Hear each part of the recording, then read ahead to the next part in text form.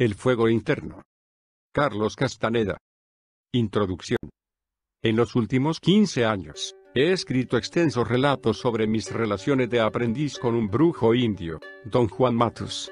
A causa de lo extraño de los conceptos y prácticas que don Juan quiso que yo comprendiera e interiorizara, no he tenido otra alternativa sino presentar sus enseñanzas en forma de narraciones descriptivas, relatos de lo que me ocurrió, tal como sucedió.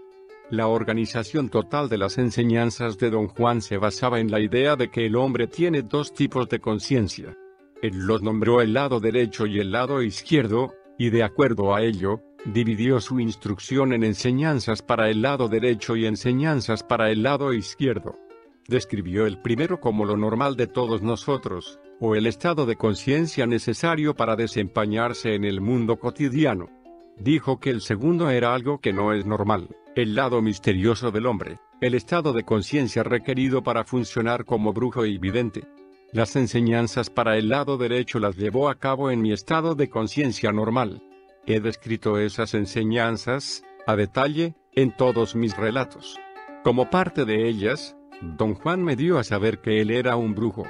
Incluso, me presentó a otro brujo, don Genaro Flores, y debido a la naturaleza de nuestra asociación, lógicamente concluí que me habían tomado como aprendiz.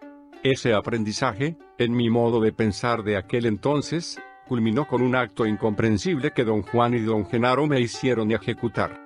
Me hicieron saltar desde la cuna de una montaña a un abismo. En uno de mis relatos he descrito lo que me ocurrió en aquella ocasión.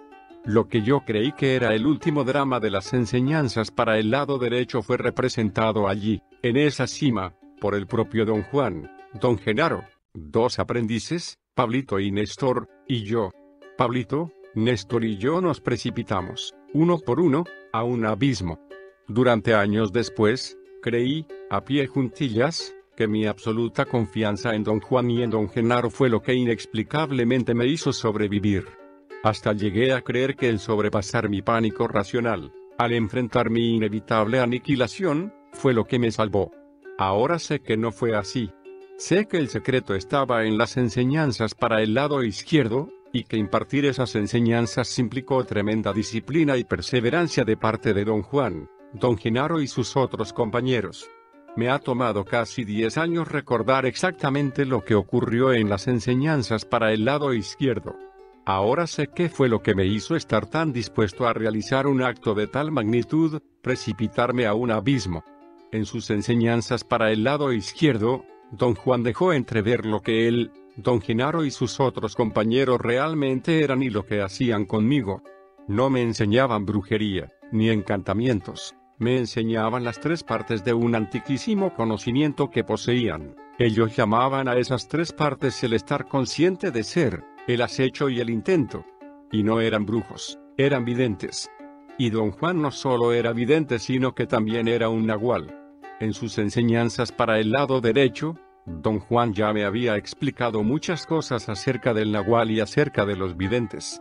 Entendí que ser vidente era la capacidad que tienen los seres humanos de ampliar su campo de percepción hasta el punto de poder aquilatar no solo las apariencias externas sino la esencia de todo. Entre otras cosas, me había explicado que los videntes ven al hombre como un campo de energía, algo parecido a una bola de luz, o lo que él llamaba un huevo luminoso. Decía que por lo general esos campos de energía están divididos en dos secciones, y que la excepción a esta regla son los hombres y mujeres que tienen sus campos de energía divididos en tres o cuatro partes.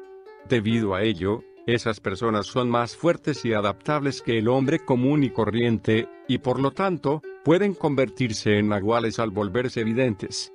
Fue, sin embargo, en sus enseñanzas para el lado izquierdo, donde don Juan elucidó totalmente los intrincados detalles de ser un vidente y de ser un nahual.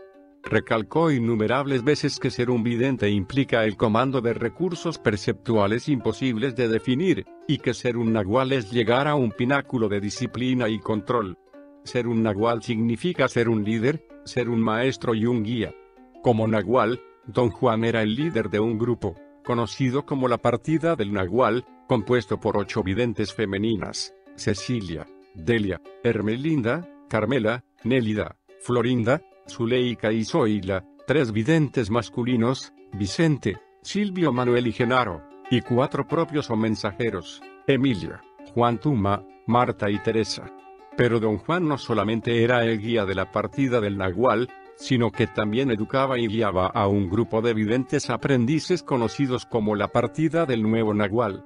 Consistía ese grupo de cuatro hombres jóvenes, Pablito, Néstor, Eligio y Benigno, de cinco mujeres, Soledad, La Gorda, Lidia, Josefina y Rosa. Yo era el líder nominal de ellos, junto con Carol, la mujer Nahual.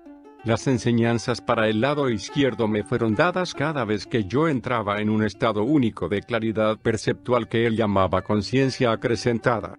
A lo largo de mis años de asociación con don Juan, repetidamente me hizo entrar en tales estados mediante un golpe que me daba con la palma de la mano, en la parte superior de la espalda. Don Juan me explicó que, en un estado de conciencia acrecentada, la conducta de los aprendices es tan natural como en la vida diaria. Su gran ventaja es que pueden enfocar sus mentes en cualquier cosa con fuerza y claridad descomunales, pero su desventaja está en la imposibilidad de traer al campo de la memoria normal lo que les sucede. Lo que les acontece en tales estados se convierte en parte de sus recuerdos cotidianos solo a través de un asombroso esfuerzo. Mi interacción con los videntes compañeros de don Juan fue un ejemplo de esta dificultad de recordar. Con la excepción de don Genaro, yo solo tenía contacto con ellos en estados de conciencia acrecentada, por ello, en mi vida normal, no podía recordarlos de ninguna manera. Después de esfuerzos inauditos, llegué a recordar que siempre me reunía con ellos de un modo casi ritual. Comenzaba al arribar en mi coche a la casa de don Genaro, en un pueblito en el sur de México. De inmediato, Don Juan se unía a nosotros y luego los tres nos empeñábamos en ejecutar las enseñanzas para el lado derecho. Al cabo de un rato, Don Juan me hacía cambiar niveles de conciencia y yo los llevaba a los dos en mi coche a un pueblo cercano, más grande, donde Don Juan y Don Genaro vivían con sus otros compañeros videntes. Cada vez que yo entraba en un estado de conciencia acrecentada no podía dejar de maravillarme de la diferencia entre mis dos lados. Siempre sentía como si un velo se me quitara de los ojos, como si antes hubiera estado parcialmente ciego y ahora podía ver. La libertad, el absoluto regocijo que solía posesionarse de mí en esas ocasiones no puede compararse con ninguna otra cosa que haya experimentado jamás. Pero al mismo tiempo, había un aterrador sentido de tristeza y añoranza que iba de la mano con aquella libertad y aquel regocijo. Don Juan me había dicho que sin tristeza y añoranza uno no está completo, pues sin ellas no hay sobriedad, no hay gentileza. Decía que la sabiduría sin gentileza y el conocimiento sin sobriedad son inútiles. La meta final de sus enseñanzas para el lado izquierdo fue la explicación que don Juan, junto con algunos de sus compañeros videntes, me dieron acerca de las tres facetas de su conocimiento, la maestría del estar consciente de ser, la maestría del acecho y la maestría del intento. Esta obra trata de la maestría del estar consciente de ser. Yo la describo aquí como parte del arreglo total que don Juan usó a fin de prepararme para llevar a cabo el asombroso acto de saltar a un abismo. Debido al hecho de que las experiencias aquí narradas tuvieron lugar en estados de conciencia acrecentada, no pueden tener la trama de la vida cotidiana. Carecen de contexto mundano, aunque he hecho lo mejor por proporcionarlo, sin hacerlo ficción. En estados de conciencia acrecentada se tiene mínima idea de lo que nos rodea, puesto que la concentración total queda ocupada con los detalles de la acción del momento. En este caso, naturalmente, la acción del momento era la elucidación de la maestría del estar consciente de ser. Don Juan me dio a entender que dicha maestría era la versión moderna de una antiquísima tradición, que él llamaba la tradición de los antiguos videntes toltecas aunque él sentía que estaba unido, de modo inextricable, a aquella antigua tradición se consideraba a sí mismo como uno de los videntes de un nuevo ciclo. Cuando una vez le pedí que me describiera las características esenciales de los videntes del nuevo ciclo, lo primero que dijo fue que son los guerreros de la libertad total. Luego explicó que son tales maestros del estar consciente de ser, del acecho y del intento, que la muerte no los alcanza como alcanza al resto de los seres humanos. Los guerreros de la libertad total eligen el momento y la manera en que han de partir de este mundo. En ese momento se consumen con un fuego interno y desaparecen de la faz de la tierra, libres, como si jamás hubieran existido. Capítulo 1. Los nuevos videntes. Había pasado la noche en la ciudad de Oaxaca, en el sur de México. Iba camino a las montañas de Ixtlán a buscar a don Juan.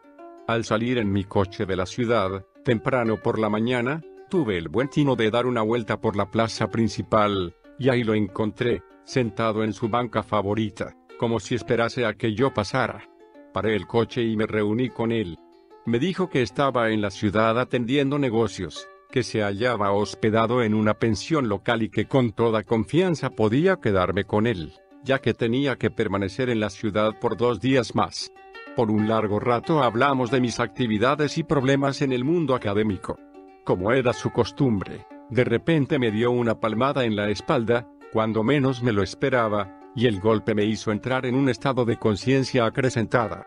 Estuvimos sentados durante mucho tiempo, en silencio. Yo esperaba con ansia que comenzara a hablar y, sin embargo, cuando lo hizo me sorprendió. Mucho tiempo antes de que los españoles llegaran a México dijo existían extraordinarios videntes toltecas, hombres capaces de actos inconcebibles eran el último eslabón en una cadena de conocimiento que se extendió a lo largo de miles de años. Esos videntes toltecas fueron hombres extraordinarios, brujos poderosos, sombríos y obsesionados que desentrañaron misterios y poseyeron conocimientos secretos que utilizaban para afectar o subyugar a quienes cayeran en sus manos. Sabían cómo inmovilizar la atención de sus víctimas y fijarla en lo que fuera. Dejó de hablar y me miró. Sentí que esperaba que yo le hiciera una pregunta, pero no sabía qué preguntar. Tengo que hacer hincapié en un hecho importante, prosiguió, el hecho de que aquellos brujos sabían cómo inmovilizar la atención de sus víctimas. ¿No te diste cuenta? Cuando yo lo mencioné no significó nada para ti. No es raro. Una de las cosas más difíciles de admitir es que el estar consciente de ser es algo que puede ser manejado. Me sentí confuso. Sabía que me guiaba hacia algo. Sentía una aprensión familiar, el mismo sentimiento que siempre me asaltaba cuando don Juan comenzaba un nuevo ciclo de enseñanzas. Le dije cómo me sentía. Hizo un gesto vago de sonrisa. De costumbre, cuando sonreía, resumaba felicidad, esta vez estaba definitivamente preocupado. Durante un momento pareció considerar si seguir hablando o no. De nuevo me miró atentamente, paseando su mirada con lentitud a lo largo de todo mi cuerpo. Aparentemente satisfecho, asintió con la cabeza y dijo que yo estaba listo para emprender la etapa final, el aprendizaje que todos los guerreros tenían que llevar a cabo para al fin entender el camino del conocimiento. Vamos a hablar del estar consciente de ser continuo. Los videntes toltecas, de hecho, fueron los maestros supremos del arte de estar consciente de ser. Cuando digo que sabían cómo inmovilizar la atención de sus víctimas, quiero decir que su conocimiento y sus prácticas secretas les permitieron romper el misterio del estar consciente de ser.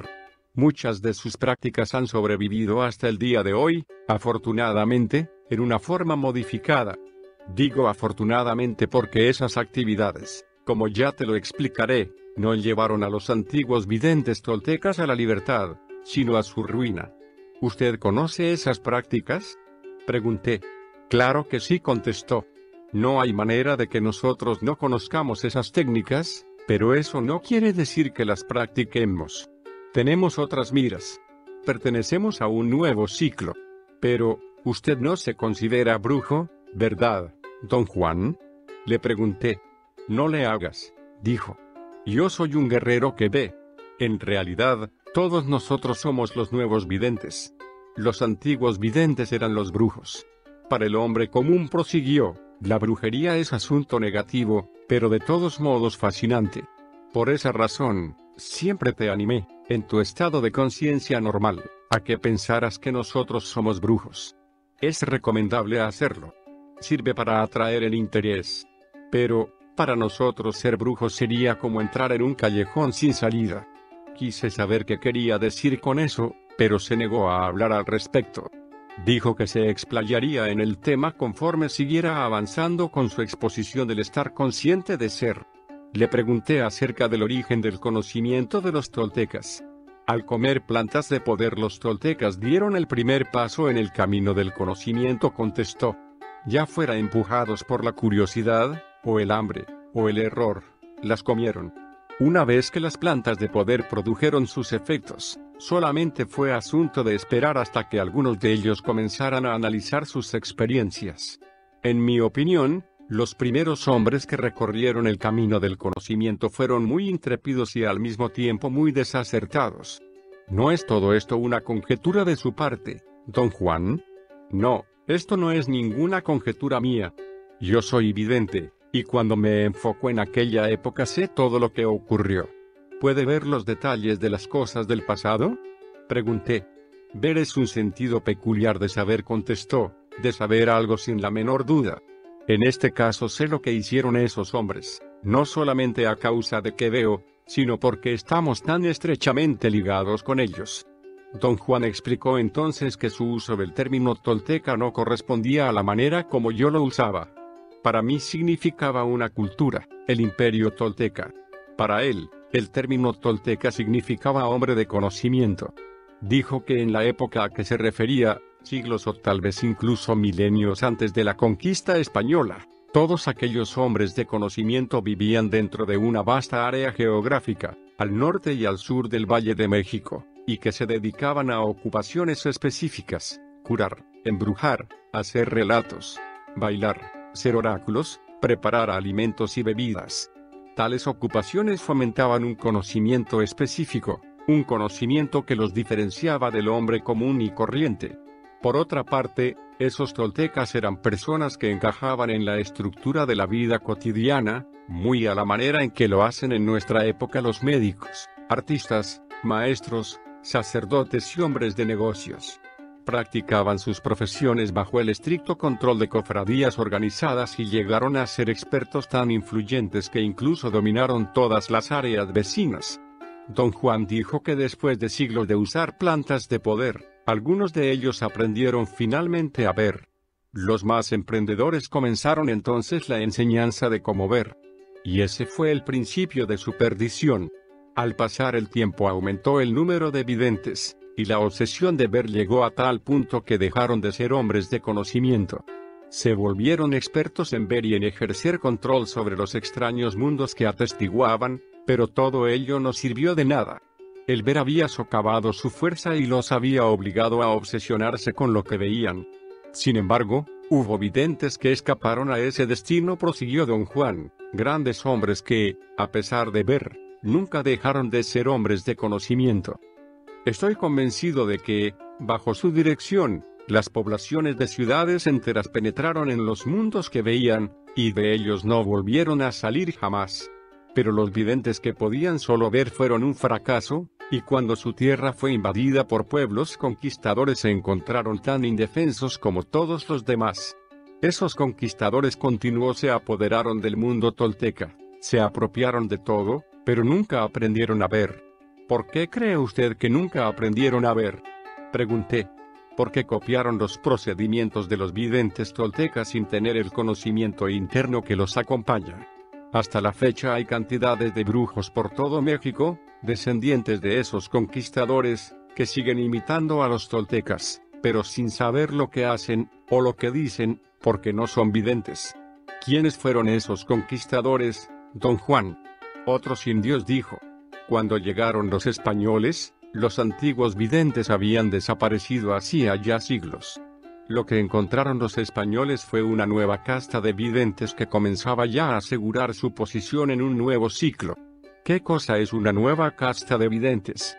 Después que el mundo de los primeros toltecas fue destruido, los videntes que sobrevivieron se recluyeron y empezaron un recuento de sus prácticas. Lo primero que hicieron fue establecer el acecho, el ensoñar y el intento como los procedimientos claves, luego descontinuaron el uso de las plantas de poder, Quizás eso nos da cierta idea de lo que realmente le sucedió con las plantas de poder. El nuevo ciclo apenas comenzaba a establecerse cuando los conquistadores españoles acabaron con todo. Afortunadamente, para entonces los nuevos videntes estaban completamente preparados para enfrentar ese peligro. Ya eran practicantes consumados del arte del acecho. Don Juan dijo que los subsecuentes siglos de subyugación les proporcionaron a los nuevos videntes las circunstancias ideales para perfeccionar sus habilidades. Por extraño que parezca, fue el extremo rigor y la coerción de dicho período lo que les dio el ímpetu para refinar sus nuevos principios. Y gracias al hecho de que nunca divulgaban sus actividades, se les dejó libres y pudieron explorar y delinear el curso de sus actos. ¿Hubo un gran número de videntes durante la conquista? Pregunté. Al principio había muchos. En la época colonial solo quedó un puñado. El resto había sido exterminado. Y como está la cosa hoy en día, hay unos cuantos. Como tú comprenderás, están dispersos por todas partes. ¿Los conoce, usted, don Juan? Una pregunta tan sencilla es la más difícil de contestar, repuso. Hay unos a quienes conocemos muy bien. Pero no son exactamente como nosotros, porque se han concentrado en otros aspectos específicos del conocimiento, tales como bailar, curar, embrujar, hablar, en vez de lo que recomiendan los nuevos videntes, el acecho, el ensueño y el intento. Los que son exactamente como nosotros no cruzarían nuestro camino. Así lo dispusieron los videntes que vivieron durante los tiempos coloniales para evitar ser exterminados por los españoles. Cada uno de esos videntes fundó un linaje, y no todos ellos tuvieron descendientes, de modo que quedan muy pocos. ¿Conoce usted a algunos que sean exactamente como nosotros? Unos cuantos contestó lacónicamente. Le pedí entonces que me diera toda la información posible, el tema me interesaba de manera vital. Me era de suma importancia conocer nombres y direcciones con objeto de validar y corroborar todo lo que me estaba diciendo. Don Juan no parecía interesado en complacerme. Los nuevos videntes pasaron por todas esas corroboraciones, dijo. La mitad de ellos dejó los huesos en el cuarto donde los corroboraban. Así que ahora son pájaros solitarios. Dejémoslo así. Lo único de lo que podemos hablar es de nuestro linaje. Acerca de eso, tú y yo podemos decir todo lo que queramos. Explicó que todos los linajes fueron iniciados en la misma época y de igual manera. Hacia fines del siglo XVI cada nahual se cerró en sí mismo y aisló a su grupo de videntes para que no tuvieran ningún contacto abierto con otros videntes. La consecuencia de esa drástica segregación fue la formación de linajes individuales. Dijo que nuestro linaje estaba compuesto de 14 nahuales y 126 videntes. Algunos de esos 14 nahuales tuvieron solamente 7 videntes con ellos, otros tuvieron 11 y algunos hasta 15. Me dijo que su maestro, o su benefactor, como le llamaba, era el Nahual Julián, y el anterior a Julián era el Nahual Elías. Le pregunté si conocía los nombres de todos los catorce nahuales. Los nombró y los enumeró, a fin de que yo supiera quiénes eran. Dijo también que había conocido personalmente a los quince videntes que formaron el grupo de su benefactor, y que había conocido al maestro de su benefactor, el Nahual Elías y a los once videntes de su grupo. Don Juan me aseguró que nuestro linaje era bastante excepcional, porque sufrió un cambio drástico en el año 1723. Una influencia externa vino a afectarnos y alteró nuestro curso de manera inexorable. En ese momento no quiso hablar del evento en sí, pero dijo que, a partir de ese entonces, nuestra línea tomaba en cuenta un nuevo comienzo y que se consideraba que los ocho nahuales que habían gobernado el linaje desde ese instante, eran intrínsecamente diferentes a los seis que los precedieron. Don Juan debió tener negocios que atender al día siguiente, porque no lo vi hasta casi el mediodía. Mientras tanto, llegaron a la ciudad tres de sus aprendices, Pablito, Néstor y la Gorda. Venían a comprar herramientas y materiales para el negocio de carpintería de Pablito. Los acompañé y los ayudé a cumplir todos sus encargos. Luego regresamos todos a la pensión. Los cuatro estábamos sentados conversando cuando don Juan entró a mi cuarto. Nos dijo que partiríamos después del almuerzo, y que, inmediatamente, tenía algo que discutir conmigo, en privado. Sugirió que nosotros dos diéramos un paseo alrededor de la plaza antes de que nos reuniéramos todos en un restaurante. Pablito y Néstor se pusieron de pie y salieron diciendo que aún no terminaban sus quehaceres. La gorda parecía estar muy disgustada. ¿De qué van a hablar? Chilló, pero de inmediato reconoció su error y se rió nerviosamente. Don Juan la miró de manera extraña pero no dijo nada. Alentada por su silencio, la gorda propuso que la lleváramos con nosotros. Nos aseguró que no nos molestaría en lo más mínimo. Estoy seguro de que no nos molestarás, le dijo don Juan, pero realmente no quiero que oigas nada de lo que tengo que decir. El enojo de la gorda era muy obvio. Se sonrojó. Cuando don Juan y yo salíamos del cuarto, la miré a hurtadillas y noté que tenía la boca abierta y los labios resecos. Toda su cara se había nublado con ansiedad y tensión, distorsionándose al instante. El mal humor de la gorda me causó una gran ansiedad. De hecho, sentía una incomodidad física. No dije nada, pero don Juan pareció darse cuenta de cómo me sentía. Deberías darle gracias a la gorda día y noche, dijo de repente. Ella te está ayudando a destruir tu importancia personal. Ella es la pinche tirana en tu vida, pero aún no te das cuenta de eso. Paseamos alrededor de la plaza hasta que todo mi nerviosismo se desvaneció. Entonces nos volvimos a sentar en su banca preferida. Los antiguos videntes en realidad fueron muy afortunados, comenzó don Juan, porque tuvieron tiempo de sobra para aprender cosas increíbles. Con decirte que sabían maravillas que hoy no podemos ni siquiera imaginar. ¿Quién les enseñó todo eso? Pregunté. Aprendieron todo por su cuenta. Eran videntes, Veían contestó. La mayoría de lo que sabemos en nuestro linaje fue obra de ellos.